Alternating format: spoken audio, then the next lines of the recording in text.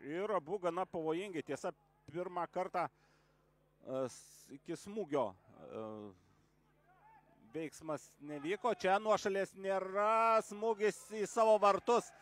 Ir griebėsi už galvos Nahuelis Mačado, o Vilniaus Žalgiris štai taip atsako į Jonaviškių įžulumą, taip galėčiau pasakyti.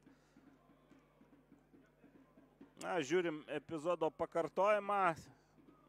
Įvartis į savus vartus. Perdimas visų pirma geras ir po to jau Mačiado ten bandė išmušti kamolį.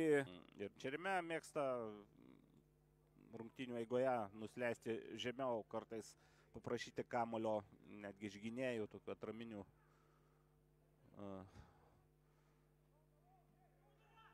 atraminio saugo pozicijoje. O čia Čerėme muša antrą įvartį.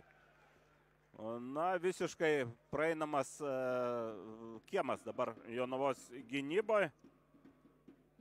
Pažiūrėsime epizodo pakartojimą. Pietų keturi švenčia. Žalgiris jau muša antrą kartą. 77 numeris. Francis įsidėjo 15 minučių vėliau. Po to dar ir buvo ne viena pauzė. Oliveira ir trečias įvartis. 3-0. Mano minėta tendencija jau vykdoma pirmame kėlinėje. Dabar, na, puikus perdamas, puikus Renano Oliveiros smūgis.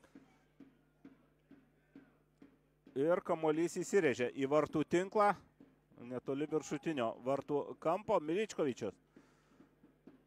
Čia labai įdomi ir smūgio trajektorija. Čia už šansų vartininkui nelabai, kad buvo.